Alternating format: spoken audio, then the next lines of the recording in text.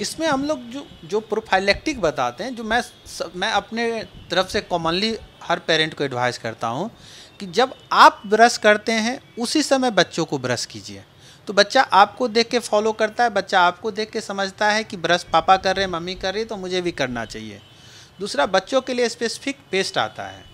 Normal जो हम बड़े वाले पेस्ट होता है, बड़ों वाले पेस्ट में फ्लोराइड कंटेंट ज़्यादा होता है, बच्चों में डिफरेंट कंटेंट होता है। तो कई सारे ब्रांड हैं, जैसे कीडोडेंट, चीरियो, ऐसे करके हर अधिकतर जो डेंटल प्रोडक्ट बनाती है कंपनियाँ, कॉलगेट जूनियर, ये सारे पेस्ट हैं जो बच्चों को देना चाहिए और उससे बच्चे को टूथब्रश कराना चाहिए। तो पहला तो ये हो गया कि आप अपने साथ टूथब्रश कराइए।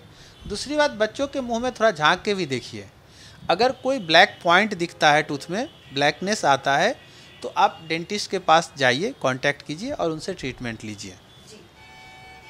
तीसरा चीज़ है कि अगर बच्चे को खाने पीने में केयर कैसे कर सकते हैं तो स्पेशली कोई भी मिल्क प्रोडक्ट जैसे आजकल बड़ा प्यार झलकता है, लोग कैडबरीज का चॉकलेट बच्चों को देते होते हैं। तो जो भी मिल्क प्रोडक्ट आप देते हैं आइदर मिल्क या कोई भी स्वीटनर तो बच्चे को उसके बाद पानी ज़रूर पिलाइए। देखना पड़ता है कि दांत में वो चीज़ चिपका हुआ नहीं हो। जैसे हम अगर बच्चे को दूध देते हैं, छोटा बच्चा है तो बोतल में उसको दूध दे के सुला देते हैं तो सुलाने के बाद क्या करना चाहिए कि पानी बोतल में भर के थोड़ा सा दो चार घूंट पानी भी पिला दीजिए बच्चे को, ना कि हम बच्चे को दूध पी के सुला दिया और बच्चा मुँह में बोतल लगाए, रात भर सो रहा है। ऐसे केसेस में क्या होगा कि नर्सिंग बोतल कैरीज हो जाएगा, टूथ डैमेज हो जाएगा, बच्चा फिर परेशान होगा, रोएगा और पेरेंट भी परेशान होंगे। सो इससे बचाव का यही तरीका है कि पेरेंट समझे कि जैसे अपने दांतों का आप केयर करते हैं, उससे ज़्यादा उन बच्चे के दांत का केयर करें, क्योंकि आप उसको देख सकते हैं। आप अपने टूथ को नहीं देख सकते बट आप अपने बच्चे के टूथ को देख सकते हैं।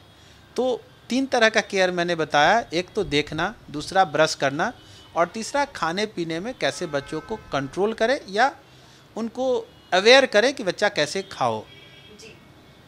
डॉक्टर साहब, अब जैसा कि अभी आप ट्रीटमेंट के सिलसिले में हमें फ्लोराइड ट्रीटमेंट के बारे में बता रहे थे, इसके अलावा भी अगर बच्चों के दांतों में जब दिक्कतें हों तो फ्लोराइड ट्रीटमेंट के अलावा और क्या क्या इलाज है? देखिए ट्रीटमेंट कभी भी दो तरह का होता है। एक प्रोफाइलेक्टिक होता है कि डिज़ीज़ हो ही ना।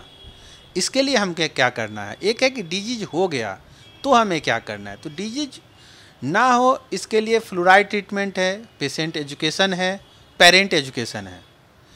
डीजी जब हो ही गया तो करेक्टिव ट्रीटमेंट है। जैसे बच्चे को थोड़ा सा ब्लैकनेस आया टूथ में तो हम लोग वो ब्लैक पार्ट को रिमूव करके उसमें हम लोग रेस्टोरेशन कर देते हैं फिलिंग कर देते हैं तो बच्चे को लंबे टाइम तक चलता है।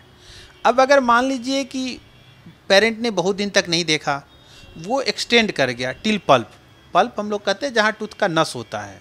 तो जब नस तक आएगा, तब बच्चों को दर्द होना शुरू होता है।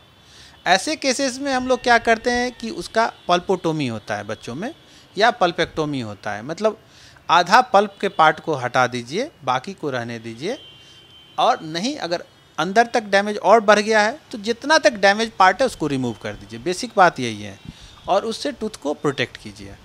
बच्चों में एक्राइलिक क्राउन और स्टेनलेस क्राउन का टेक्निक यूज़ किया जाता है।